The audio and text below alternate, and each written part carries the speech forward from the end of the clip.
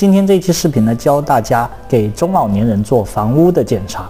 为什么要做房屋检查呢？是因为中老年人很容易因为房屋中的一些不合理的地方而受到伤害。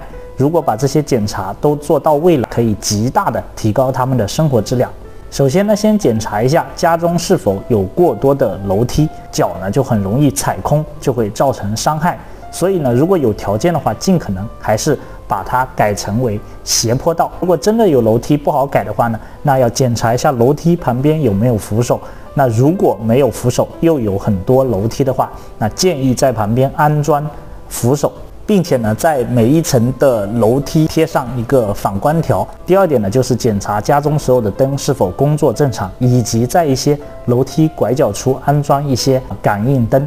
这里呢，安装扶手也一定要注意，就是安装的这个强度至少是够一个人压下去，能够撑得住的。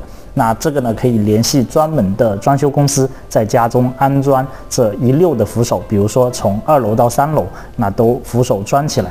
那以及呢，呃，在家中厕所的旁边到这个浴室里面。以及到门边都可以安装一排的扶手。第三个点呢是检查卫生间，卫生间中呢有两个比较不安全的地方，一个呢就是这个马桶啊，看一下马桶啊是蹲式的话，那是非常不建议给老年人使用的，因为对老年人的压力太大，而且啊站起来的时候很容易。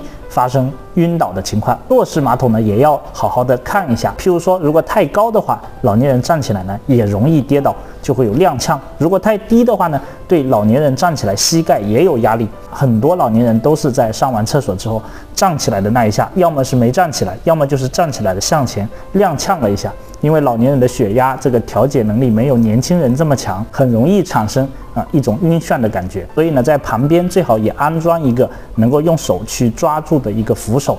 那这个呢，价格其实也并不贵，但改善一下对老年人帮助非常大。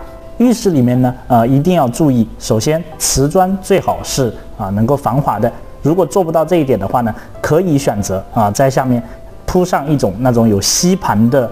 呃，沐浴垫，那这样子呢，也可以增加这个防滑，但是这个沐浴垫一定要铺到位。有的时候如果边上露出来一点，反而容易啊把老年人给绊倒。此外呢，在沐浴的时候，最好在边上安装一个啊沐浴凳啊，就是那种平时可以收上去，要沐浴的时候可以放下来，让老年人坐在那里沐浴。